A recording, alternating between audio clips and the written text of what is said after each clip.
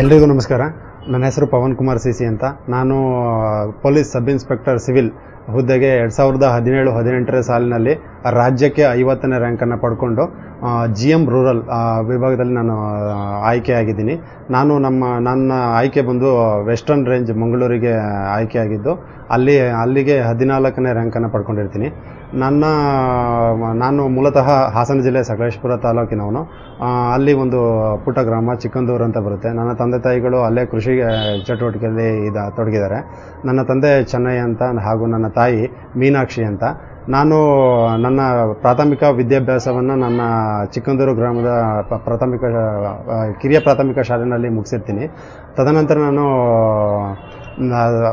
ಪ್ರೌಢಶಾಲೆಗಾಗಿ ನನ್ನ ಪಕ್ಕದ ಊರಿನ ಪಕ್ಕದ ಊರಾದ ಹೆತ್ತೂರಿಗೆ ಹೋಗಿ ನನ್ನ ಪ್ರೌಢ ಶಿಕ್ಷಣವನ್ನು ಮುಗಿಸಿ, ನಂತರ ಹಾಸನ ಜಿಲ್ಲೆಯಲ್ಲಿರತಕ್ಕಂಥ ಸರ್ಕಾರಿ ಬಾಲಕರ ಪದವಿ ಪೂರ್ವ ಕಾಲೇಜಿನಲ್ಲಿ ನನ್ನ ಪದವಿ ಶಿಕ್ಷಣ, ಪದವಿ ಪೂರ್ವ ಶಿಕ್ಷಣವನ್ನು ಪಡ್ಕೊಂಡಿರ್ತೀನಿ ಬಿ ಬಿ ಎಂ ಪದವಿಯನ್ನು ನಾನು ಮಹಾರಾಜಸ್ ಕಾಲೇಜ್ ಮೈಸೂರು ಯೂನಿವರ್ಸಿಟಿಯಿಂದ ಪಡ್ಕೊಂಡು ನಂತರ ಎರಡು ವರ್ಷಗಳ ಕಾಲ ನಾನು ನಮ್ಮ ಗ್ರಾಮದಲ್ಲೇ ಕಳೆದಿದ್ದೀನಿ.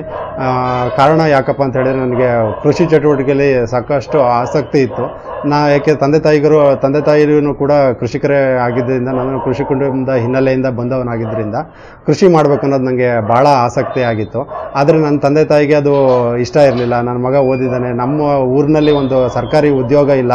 ಸರ್ಕಾರಿ ಉದ್ಯೋಗ ನನ್ನ ಮಕ್ಕಳು ಪಡ್ಕೋಬೇಕು ಅನ್ನೋದೊಂದು ಅವರಿಗೆ ಆಸೆ ಇತ್ತು. ಹಾಗೇನೆ ಅದಕ್ಕೆ ಒಂದು ಮೂಲ ಕಾರಣ ಒಂದಿತ್ತು. ಯಾಕ ಏನಪ್ಪ ಅಂತ ಹೇಳಿದ್ರೆ ಅದು ನಮ್ಮೂರಿನಲ್ಲೇ ಒಂದು ಜಮೀನು ವಿಚಾರವಾಗಿ ಒಂದು ಗಲಾಟೆ ನಡೆದಿತ್ತು. ಒಂದು ಸಾವಿರದ ಒಂಬೈನೂರ ತೊಂಬತ್ತೊಂಬತ್ತರ ಹಾಗೆ ಆ ಗಲಾಟೆ ಸಮಯದಲ್ಲಿ ಒಂದು K S R P police ವ್ಯಾನ್ನಲ್ಲಿ ಬಂದಿದ್ದಂಥ ಪೊಲೀಸರಿಗೆ ನಮ್ಮನೆಯಲ್ಲೇ ಉಳಿಯೋದಕ್ಕೆ ಅವಕಾಶ ಮಾಡಿಕೊಟ್ಟಿದ್ರು. ಹಾಗೆ ನಮ್ಮ ತಂದೆಗೆ ಪೊಲೀಸ್ ನನ್ನ ಮಕ್ಕಳಲ್ಲಿ ಇಬ್ಬರು ಒಬ್ಬರಾದ್ರೂ ಪೊಲೀಸ್ ಆಗಲೇಬೇಕು ಅನ್ನೋ ಒಂದು ಆಸೆ ಇತ್ತು. ಅವರು ಸಲ ಸಲ ಅದನ್ನು ಹೇಳ್ತಾ ಇರೋರು, ಪೊಲೀಸ್ ಆಗಬೇಕು ನೀವಿಬ್ಬರಲ್ಲಿ ಒಬ್ಬರು ಅಂತ ಹೇಳ್ತಾ ಇರೋರು. ಹಾಗೆ ನನ್ನ ತಮ್ಮಗೂ ನನಗೂ ಬಾಲ್ಯದಿಂದಲೇ ಅದೊಂದು ತಲೆನಲ್ಲಿ ಉಳ್ಕೊ ಬಂದಿತ್ತು ನಾವಿಬ್ಬರು ಪೊಲೀಸ್ ಆಗಬೇಕು ಆಗಬೇಕು ಅಂತ. ಆಮೇಲೆ ಅಲ್ಲಿ ಆ ಸಮಯದಲ್ಲಿದ್ದಂಥ ಒಬ್ಬ ಸಬ್ ಇನ್ಸ್ಪೆಕ್ಟರ್ ಒಬ್ಬರು ಇವತ್ತಿಗೂ ಕೂಡ ಅವರ ಹೆಸರು. ನಾನು ಆ ವ್ಯಕ್ತಿನ ನಾನು ನೋಡದೇ ಇದ್ರೂ ಕೂಡ ಅವರ ಹೆಸರು ಇವತ್ತಿಗೂ ನಮ್ಮ ಸುತ್ತಮುತ್ತ ಹಳ್ಳಿಯ ಜನರಲ್ಲಿ ಬಾಯಿ ಮಾತಾಗಿ ಹೆಸರುವಾಸಿಯಾಗಿ ಉಳಿದುಬಿಟ್ಟಿದೆ. ಹಾಗಾಗಿ ನಮಗೂ ಅದೊಂದು ಕ್ರೇಜ್ ಇತ್ತು. ನಾನು ಪೊಲೀಸ್ ಆಗಬೇಕು ಪೊಲೀಸ್ ಆಗಬೇಕು ಅಂತ. ಎರಡು ವರ್ಷಗಳ ಕಾಲದ ನಂತರ ನನಗೆ ಮನೆಯಲ್ಲಿ ಹೊರಗಡೆ ಹೋಗು, ಏನಾದರೂ ಕೆಲಸ ಮಾಡು, ಊರಲ್ಲಿ ಬೇಡ ಅಂತ ಹೇಳಿದ್ರಿಂದ ನಾನು ಬೆಂಗಳೂರಿಗೆ ಬಂದೆ. ಬೆಂಗಳೂರಿಗೆ ಬಂದು ಬಜಾಜ್ ಫೈನಾನ್ಸ್ ಅಂತ ಒಂದು ಕಂಪ್ನಿನಲ್ಲಿ ಸೇಲ್ಸ್ ಎಕ್ಸಿಕ್ಯೂಟಿವ್ ಆಗಿ ಕೆಲಸವನ್ನು ಶುರು ಮಾಡಿದೆ. ಮೂರು ವರ್ಷಗಳ ಕಾಲ ಫೈನಾನ್ಸ್ ವಿಭಾಗದಲ್ಲೇ ಕೆಲಸ ಮಾಡ್ತಾ ಇದ್ದೆ. ಅದಾದಮೇಲೆ ನನ್ನ ಕೆಲವು ಸ್ನೇಹಿತರು ಕಾಂಪಿಟೇಟಿವ್ ಎಕ್ಸಾಮ್ನ ಎದುರಿಸಿ ಪೊಲೀಸ್ ಇಲಾಖೆ ಹಾಗೂ ಬೇರೆ ಬೇರೆ ಇತರೆ ಇಲಾಖೆಗಳಲ್ಲಿ ಸರ್ಕಾರಿ ಉದ್ಯೋಗವನ್ನು ಪಡ್ಕೊಂಡಾಗ ನನಗೂ ಒಂದು ಎಲ್ಲೋ ಒಂದು ಕಡೆ ಆಸೆ ಶುರುವಾಯಿತು. ನಮ್ಮ ನಮ್ಮ ತಂದೆ ತಾಯಿ ಹೇಳ್ತಿದ್ದಂಗೆ ನನ್ನ ಬಲ್ಯದ ಕನಸುಗಳಿದ್ದ ಹಾಗೆ ನಾನು ಸರ್ಕಾರಿ ಉದ್ಯೋಗಕ್ಕಾಗಿ ಪ್ರಯತ್ನ ಮಾಡಬೇಕು. ಎಸ್ಪೆಷಲಿ ಪೊಲೀಸ್ ಆಗಬೇಕು ಅನ್ನೋದೊಂದು ನನಗೆ ಭಾಳ ಆಸಕ್ತಿ ಬಂತು ಆ ಟೈಮ್ನಲ್ಲಿ. ನಾನು ಓಡಾಡ್ತಿರ್ಬೇಕಾರೆಲ್ಲ ಟ್ರಾಫಿಕ್ ಪೊಲೀಸ್ ಆಗಿರ್ಬೋದು ಅಥವಾ ಬೇರೆ ಬೇರೆ ಯೂನಿಫಾರ್ಮ್ ಹಾಕಿದಂಥ ಪೊಲೀಸ್ಗಳನ್ನ ನೋಡ್ತಾ ಇದ್ದಾಗ ನಾನು ಆಗಬೇಕು ನಾನು ಆಗಬೇಕು ಅನ್ನೋ ಒಂದು ಆಸೆ ಆಗ್ತಿತ್ತು. ಬಟ್ ಆದರೆ ನಾನು ಪ್ರಯತ್ನನೇ ಮಾಡಬೇ ಮಾಡದೆ ಹೇಗಪ್ಪ ಆಗೋದು ಅನ್ನೋ ಒಂದು ಆಲೋಚನೆ ಕೂಡ ಇತ್ತು. ಅದಾದಮೇಲೆ ನಾನು ಓದೋದಕ್ಕೆ ಶುರು ಮಾಡಿದೆ, ಕೆಲಸವನ್ನು ಬಿಟ್ಟು. ಸತತ ಎರಡು ವರ್ಷಗಳ ಕಾಲ ಪ್ರಯತ್ನ ನಿರಂತರವಾಗಿತ್ತು. ಅದರಲ್ಲಿ ಪೊಲೀಸಲ್ಲಿ ಬರ್ತಕ್ಕಂಥ K S R P C R D R ಹಾಗೂ ಸಿವಿಲ್ ಇಂಟೆಲಿಜೆನ್ಸ್ ಹೀಗೆ ನಾನಾ ರೀತಿಯ ಪೊಲೀಸ್ ಸಬ್ ಇನ್ಸ್ಪೆಕ್ಟರ್ ಹಾಗೂ ಕಾನ್ಸ್ಟೇಬಲ್ ಹುದ್ದೆಗಳಿಗೆ ನಾನು ಆಯ್ಕೆ ಬಯಸಿ ಅಪ್ಲಿಕೇಶನ್ನ ಹಾಕಿದ್ದೆ. ಅರ್ಜಿಯನ್ನು ಹಾಕಿ ನಂತರ ನಾನು ಸತತವಾಗಿ ಹನ್ನೊಂದು ಬಾರಿ ದೈಹಿಕ ಪರೀಕ್ಷೆನಲ್ಲಿ ಫೇಲ್ ಆಗಿದ್ದೆ. ರನ್ನಿಂಗ್ ನಾನು ಕಂಪ್ಲೀಟ್ ಮಾಡಿರಲೇ ಇಲ್ಲ. ಹನ್ನೆರಡನೇ ಬಾರಿಗೆ ನಾನು K S R P sub inspector ಹುದ್ದೆದ ದೈಹಿಕ ಪರೀಕ್ಷೆನ ಉತ್ತೀರ್ಣಗೊಳಿಸಿ, ನಂತರ ಹದಿಮೂರನೇ ಬಾರಿಗೆ ಸಿವಿಲ್ ಸಬ್ ಇನ್ಸ್ಪೆಕ್ಟರ್ ಹುದ್ದೆಗೆ ಆಯ್ಕೆ ಬಯಸಿ ಅರ್ಜಿ ಹಾಕಿ ದೈಹಿಕ ಪರೀಕ್ಷೆನ ಪೂರ್ಣಗೊಳಿಸಿದ್ದೆ. ಎರಡು ಈ ಎರಡೂ ಎಕ್ಸಾಮ್ಗಳಲ್ಲೂ ಕೂಡ ನನಗೆ ಯಶಸ್ಸು ಸಿಕ್ತು. ನಾನು ಖಾಸಗಿ ಕಂಪನಿಗೆ ರಿಸೈನನ್ನು ಮಾಡಿದ ಮೇಲೆ ಸ್ಪರ್ಧಾತ್ಮಕ ಪರೀಕ್ಷಾ ತಯಾರಿಗೆ ನಾನು ಸಜ್ಜಾದೆ ನಂತರದಲ್ಲಿ ನಾನು ಬಂದ ನನಗೆ ಬಂದಂಥ ಚಾಲೆಂಜಸ್ ಏನಪ್ಪ ಅಂತ ಹೇಳಿದ್ರೆ ನಾನು ಪೊಲೀಸಲ್ಲಿ ಒಂದು ಫಿಸಿಕಲ್ ಫಿಟ್ನೆಸ್ ಇರಬೇಕಾಗಿತ್ತು. ಯಾಕೆಂದರೆ ಸಾವಿರದ ಆರುನೂರು ಮೀಟರ್ ರನ್ನಿಂಗನ್ನು ಕಂಪ್ಲೀಟ್ ಮಾಡೋದಾಗಿರ್ಬೋದು ಅಥವಾ ಲಾಂಗ್ ಜಂಪ್, ಹೈ ಜಂಪ್ಗಳಾಗಿರ್ಬೋದು ಅಥವಾ ಶಾರ್ಟ್ ಪುಟ್ ಆಗಿರ್ಬೋದು, ನನಗೆ ಹೆಚ್ಚಿನ ಸವಾಲು ಅನಿಸಿದ್ದು ರನ್ನಿಂಗು. ಅದರಲ್ಲಿ ನಾನು ಸಲ ಸಲ ಫೇಲ್ ಆಗ್ತಾ ಇದ್ದೆ. ಪ್ರಯತ್ನಗಳು ನಿರಂತರವಾಗಿ ನಡೀತಾ ಇತ್ತು. ನಮ್ಮ ಕುಟುಂಬದಲ್ಲೂ ಕೂಡ ಹೇಳೋರು, ಪೊಲೀಸ್ ಬಿಟ್ಟು ಅದಕ್ಕೆ ಬೇರೆದನ್ನೇ ಟ್ರೈ ಮಾಡಿಬಿಡು. ಯಾಕೆ ಅಷ್ಟು ಪ್ರಯತ್ನ ಮಾಡ್ತೀಯಾ? ನೀನು ಸಲ ಸಲ ರನ್ನಿಂಗ್ ಹೋಗ್ತೀಯಾ? ಆಗೋದೇ ಇಲ್ಲ ಅಂತ. ಅದನ್ನು ಕೂಡ ನನಗೆ ಪೊಲೀಸ್ ಅನ್ನೋದೊಂದು ತಲೆಯಲ್ಲಿ ಉಳ್ಕೊಬಿಟ್ಟಿತ್ತು. ಆಗಬೇಕು ಆಗಬೇಕು ಅನ್ನೋದನ್ನು ನಿರಂತರವಾಗಿ ಪ್ರಯತ್ನ ನಡೆದಿತ್ತು. ನಾನು ನನ್ನ ಪ್ರಯತ್ನದಲ್ಲಿ ಎಲ್ಲೋ ಒಂದು ಕಡೆ ಲೋಪ ಇತ್ತು. ಏನಂದರೆ ನಾನು ಅಲ್ಲೇ ಸುತ್ತಮುತ್ತ, ಮನೆಯ ಸುತ್ತಮುತ್ತ ರನ್ನಿಂಗ್ ಮಾಡ್ತಾ ಇದ್ದೆ ಪ್ರಾಕ್ಟೀಸ್ ಮಾಡ್ತಾ ಇದ್ದೆ. ಆ ಪ್ರಾಕ್ಟೀಸ್ ನನಗೆ ಸರಿ ಅನ್ನಿಸ್ಲಿಲ್ಲ. ಆಮೇಲೆ ನನ್ನ ಸ್ನೇಹಿತ ಹೇಳಿದಂತೆ ರಿಹರ್ಸಲ್ ಶುಡ್ ಬಿ ರಿಯಲ್ ಅನ್ನೋ ಹಾಗೆ, ನನಗೆ ನಾನು ಎಲ್ಲಿ ರಿಯಾಲಿಟಿ ಇರಬೇಕು ನನಗೆ, ನಾನು ಪ್ರಾಕ್ಟೀಸು ಕೂಡ ರಿಯಾಲಿಟಿಯಾಗೇ ಇರಬೇಕು ಅನ್ನೋ ಒಂದು ಮನಸ್ಸಿಗೆ ಬಂದಿದ್ದರಿಂದ ನಾನು ಬೆಂಗಳೂರು ಯೂನಿವರ್ಸಿಟಿ ಗ್ರೌಂಡ್ಗೆ ಪ್ರತಿದಿನ ಬೆಳಗ್ಗೆ ಐದು ಮೂವತ್ತಕ್ಕೆ ಎದ್ದು ಹೋಗ್ತಾ ಇದ್ದೆ. ಹೋಗಿ ಬರೋದಕ್ಕೆ ನನಗೆ ಹದಿನೇಳು ಕಿಲೋಮೀಟ್ರ್ಗಳ ತಗೊಳ್ತಾ ಇತ್ತು ದೂರ. ಅದನ್ನು ಕೂಡ ನನಗೆ ಪ್ರತಿದಿನ ಒಂದು ದಿವಸನೂ ಮಿಸ್ ಮಾಡದೇ ರೀತಿ ಬೆಳಗ್ಗೆ ಐದುವರೆಗೆ ಹೋದರೆ ಮುಗಿಸ್ಕೊಂಡು ಮತ್ತೆ ವಾಪಸ್ ಬಂದು ಲೈಬ್ರರಿಗೆ ಬಂದು ಓದೋಕ್ಕೆ ಶುರು ಮಾಡ್ತಾ ಇದ್ರಿ.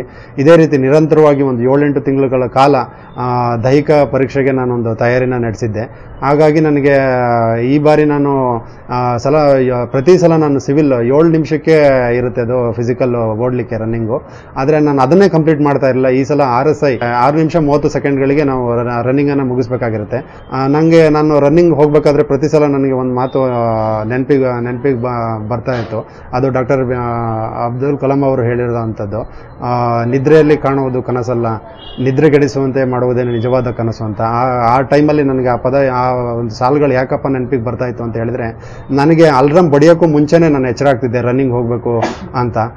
ನಾನು ತ, ಯಾವುದೇ ತರಬೇತಿಯನ್ನು ಪಡ್ಕೊಂಡಿಲ್ಲ. ನಾನೇ ಸ್ವಂತವಾಗಿ ಓದಿ ಮಾಡಬೇಕು ಅನ್ನೋದೊಂದು ಬಂತು.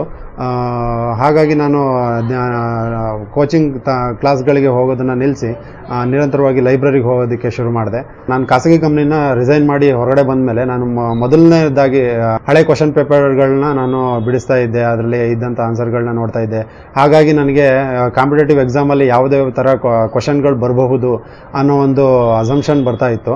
ಒಂದು ಊಹಿಸ್ಕೊಂಡು ನೆಕ್ಸ್ಟ್ ಓದಲಿಕ್ಕೆ ಒಂದು ಸಹಕಾರ ಆಯಿತು. ಅದ್ರ ಜೊತೆಗೇ ನಾನು ಐದನೇ ತರಗತಿಯಿಂದ ಹತ್ತನೇ ತರಗತಿವರೆಗೂ ಸಹ ಗೌರ್ಮೆಂಟ್ ಬುಕ್ಗಳನ್ನ ಅಂದರೆ ಸ್ಟೇಟ್ ಗೌರ್ಮೆಂಟ್ ಬುಕ್ಗಳನ್ನ ಹೋಗ್ತಾ ಓದ್ತಾ ಓದ್ತಾ ಇದ್ದೆ. ಆ್ಯಕ್ಚುಲಿ ನಾನು ಫಸ್ಟ್ ಪೇಪರ್ಗೆ ಪ್ರತಿನಿತ್ಯ ತಯಾರಿನ ನಡೆಸ್ತಾ ಇದ್ದೆ. ಅದರಲ್ಲಿ ನಾನು ಭಾಷಾಂತರಕ್ಕೆ ಸ್ವಲ್ಪ ಸಮಯನ ಕೊಡ್ತಾ ಇದ್ದೆ. ಹಾಗೆಯೇ ಎಸೆನ ಬರೆಯೋದಕ್ಕೆ ನಾನು ಸ್ವಲ್ಪ ಸಮಯನ ಮೀಸಲಾಗಿಡ್ತಿದ್ದೆ ಪ್ರ- ಪ್ರತಿನಿತ್ಯ. ಎಸೆ ಬರೆಯೋದ್ರಲ್ಲಿ ನಾನೇ ಒಂದು ಯಾವುದಾದ್ರು ಒಂದು ಟಾಪಿಕ್ಗಳನ್ನ ಹಾಕೋತಿದ್ದೆ. ಅದರ ಅದನ್ನು ಬರಿತಾ ಹೋಗ್ತಾ ಇದ್ದೆ. ನನ್ನ ಮನಸ್ಸಿಗೆ ಏನು ಬರುತ್ತೆ ಅಂತ, ಯಾವುದೇ ಬುಕ್ಗಳನ್ನ ರೆಫರ್ ಮಾಡಿದರೆ ನಾವು ಕಾಂಪಿಟೇಟಿವ್ ಎಕ್ಸಾಮ್ಗೆ ಓದ್ತಿರ್ತೀವಿ ಅಂತ ಹೇಳಿದ್ರೆ ಪ್ರತಿಯೊಂದು ವಿಷಯದ ಬಗ್ಗೆನೂ ನಮಗೆ ಜ್ಞಾನ ಇದ್ದೇ ಇರುತ್ತೆ. ಅಲ್ಪ ಸ್ವಲ್ಪ. ಅದು ನಮ್ಗೆ ಎಷ್ಟು ಬರುತ್ತೆ ನಾವು ಮತ್ತೆ ಅದನ್ನ ಸಡನ್ ಆಗಿ ಓದದೆ ಬರೆದ್ರೆ ಎಷ್ಟು ಬರುತ್ತೆ ನಾನು ಇನ್ಸ್ಟಂಟ್ ಆಗಿ ನಾನು ಚೆಕ್ ಮಾಡೋದಕ್ಕೋಸ್ಕರ ನಾನೇ ಒಂದು ಕ್ವಶನ್ನ ಹಾಕೊಂಡು ಅದು ಅದು, ಅದರಂತೆ ಬರಿತಾ ಇರ್ತಿದ್ದೆ ಏನಾದ್ರೂ ಬರಿತಾ ಇರಬೇಕಾದ್ರೆ ನನಗೆ ಕೆಲವೊಂದು ಪಾಯಿಂಟ್ಸ್ಗಳನ್ನ ಬಿಟ್ಟರೆ ಅದನ್ನ ಎಲ್ಲಿ ಬಿಟ್ಟಿದ್ದೀನಿ ಅದನ್ನ ಮತ್ತೆ ಮತ್ತೆ ನೆನಪಲ್ಲಿರೋದಕ್ಕೆ ಏನು ಮಾಡಬೇಕು, ಈ ಥರ ಎಲ್ಲ ತಯಾರಿ ನಾನು ಮಾಡ್ತಾ ಇದ್ದೆ.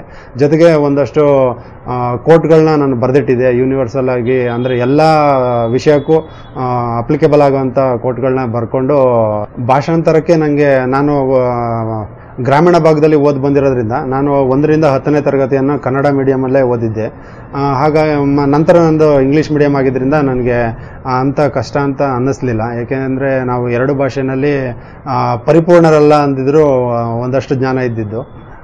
ನಾನು ಸಂದರ್ಶನಕ್ಕೆ ಆಯ್ಕೆ ಆದ ನಂತರ ನಾನು ನಾನು ನನ್ನ ಜಿಲ್ಲೆ ಹಾಗೂ ನನ್ನ ಕುಟುಂಬಕ್ಕೆ ಸಂಬಂಧಿಸಿದಂತೆ ಒಂದಷ್ಟು ಪ್ರಶ್ನೆಗಳನ್ನ ಬರ್ಕೊಂಡು ಅದಕ್ಕೆ ತ, ಅದಕ್ಕೆ ಆನ್ಸರ್ಗಳನ್ನ ನಾನೇ ಬರ್ಕೋತಾ ಇದ್ದೆ.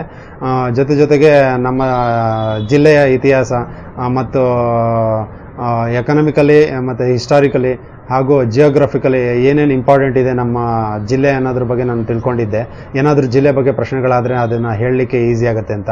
ಹಾಗೆ ಪೊಲೀಸ್ ಇಲಾಖೆಗೆ ಏನಕ್ಕೆ ಆಯ್ಕೆ ಬಯಸಿದೀಯ ಅಂತ ಏನಾದರೂ ಕೇಳಿದ್ರೆ ಅದಕ್ಕೆ ಒಂದು ಸ್ಪಷ್ಟ ಉತ್ತರ ಕೊಡಬೇಕು ಅಂತ ನಾನು ತಯಾರಿ ಮಾಡಿದ್ದೆ. ಹಾಗೆ ನನ್ನ ಡಿಗ್ರಿ ಬ್ಯಾಕ್ಗ್ರೌಂಡು ಕಾಮರ್ಸ್ ಇದ್ದಿದ್ದರಿಂದ ನಾನು ಅದಕ್ಕೆ ಸಂಬಂಧಿಸಿದ ಸಂಬಂಧಿಸಿದಂತೆ ಕೆಲವೊಂದು ಪ್ರಶ್ನೆಗಳನ್ನ ಬರ್ಕೊಂಡು ತಯಾರಿನ ಮಾಡ್ತಾ ಇದ್ದೆ. ಮೂಲತಃ ನಾನು ಗ್ರಾಮೀಣ ಭಾಗದಿಂದ ಬಂದಿರೋದ್ರಿಂದ ನನ್ನಲ್ಲೂ ಒಂದಷ್ಟು ಭಯ ಇತ್ತು.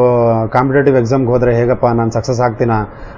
ಎಲ್ಲ ರಾಜಕೀಯ ದಿಂದ ಜಾಬ್ ತಗೋತಾರೆ, ದುಡ್ಡು ದುಡ್ಡು ಕೊಟ್ಟು ಜಾಬ್ ತಗೋತಾರೆ ಅನ್ನೋ ಒಂದು ಥಾಟ್ಸ್ ನನ್ನಲ್ಲಿತ್ತು. ಅದಾದ ನಂತರ ನಾನು ಏನಾದರೂ ಆಗಲಿ ಒಂದು ಒಂದು ಪ್ರಯತ್ನ ಮಾ, ಪ್ರತಿ ಸಲ ನನ್ನ ಕೈಲಿ ಆಗಿಲ್ಲ, ನಾನು ಇದು ಮಾಡಿಲ್ಲ ಅಂತ ಮುಂದೆ ಒಂದು ದಿವಸ ನನಗೆ ಫೀಲ್ ಕಾಡಬಾರ್ದು ಅಂತ ಅನ್ನಿಸ್ತು. ಹಾಗೆಯೇ ಒಂದು ಸಲ ಪ್ರಯತ್ನ ಮಾಡಿ ನನ್ನ ಕೈಲಿ ಆಗಿಲ್ಲ ಅಂತ ಹೇಳೋದ್ರಲ್ಲಿ ಒಂದು ಅರ್ಥ ಇದೆ ಅಂತ ನಾನು ಯೋಚನೆ ಮಾಡಿಕೊಂಡು ಕಾಂಪಿಟೇಟಿವ್ ಎಕ್ಸಾಮ್ಗೆ ಬಂದೆ. ಬಂದ ಬಂದ ಮೇಲೆ ನನ್ನ ಪ್ರಯತ್ನವನ್ನು ನಾನು ಮಾಡ್ತಾ ಇದ್ದೆ. ನಾನು ಹುದ್ದೆಗೆ ಆಯ್ಕೆ ಆದಾಗ ನನಗೆ ಅನ್ನಿಸ್ತು ಇಲ್ಲಿ ಯಾವುದೇ ಭ್ರಷ್ಟಾಚಾರ ಇಲ್ಲ. ಯಾವುದೇ ಒತ್ತಡಗಳು ಇಲ್ಲಿ ನಡೆಯೋದಿಲ್ಲ. ರಾಜಕೀಯ ಒತ್ತಡಗಳಾಗಿರ್ಬೋದು, ಹಣದ ಒತ್ತಡಗಳಾಗಿರ್ಬೋದು, ಯಾವುದೂ ಇಲ್ಲಿ ನಡೆಯಲ್ಲ. ಪ್ರತಿಭೆಗೆ ತಕ್ಕಂಥ ಪ್ರತಿಫಲ ಸಿಕ್ಕೇ ಸಿಗುತ್ತೆ ಅನ್ನೋ ಒಂದು ಭರವಸೆ ಸಿಕ್ತು. ಹಾಗೆಯೇ ನನ್ನ ಎಲ್ಲ ಸ್ನೇಹಿತರಿಗೂ ನಾನು ಹೇಳೋದು ಇಷ್ಟೇ ಬೇರೆ ಯಾವುದೇ ಮಾತಿಗೂ ಅಥವಾ ಅಲ್ಲಿ ಭ್ರಷ್ಟಾಚಾರ ನಡೆಯುತ್ತೆ, ಅಲ್ಲಿ ದುಡ್ಡು ನಡೆಯುತ್ತೆ ಅನ್ನೋರ ಮಾತಿಗೆ ನೀವು ಕಿವಿಗೊಡದೆ ನಿಮ್ಮ ಪ್ರಯತ್ನವನ್ನು ಪ್ರಾಮಾಣಿಕವಾಗಿ ನೀವು ಮಾಡಿದ್ದೇ ಆದಲ್ಲಿ ಸಕ್ಸಸ್ ಖಂಡಿತವಾಗ್ಲೂ ಸಿಕ್ಕೇ ಸಿಗುತ್ತೆ ಅನ್ನೋದನ್ನು ನಾನು ಹೇಳ ಹೇಳಕ್ಕೆ ಇಷ್ಟಪಡ್ತೀನಿ.